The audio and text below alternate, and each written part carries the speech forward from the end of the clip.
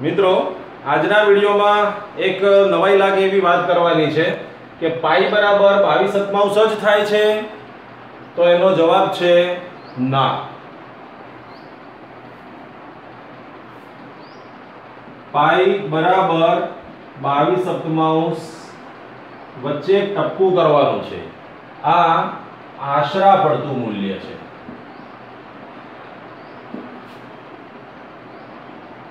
અને બાવીસ અને સાતનો ભાગાકાર કરો, તો ત્રણ પોઈન્ટ ચૌદ આવે છે.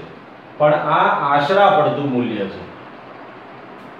એટલે પાઈની એક્ઝેક્ટ કિંમત આ દુનિયામાં કોઈને ખબર નથી અને જુદી જુદી રીતે એને એની નજીક જઈ શકાય છે, કારણ કે પાઈ પોતે અસમય સંખ્યા છે અને અસમય સંખ્યાને કદી બાવીસ અને સાતના મતલબ એ રીતે ભાગાકારની રીતે કદી લખી શકાય નહીં. પણ આપણને પાઈની કિંમતની સખત જરૂર છે, એટલે એનું આશરા પડતું મૂલ્ય બાવીસ અતમાઉસ છે. એનાથી આપણે ચલાવીએ છીએ. મારો વીડિયો છેક સુધી જોવા માટે આભાર. આ બધી નાની નાની બાબતો છે, પણ ગણિતમાં બહુ કિંમતી છે.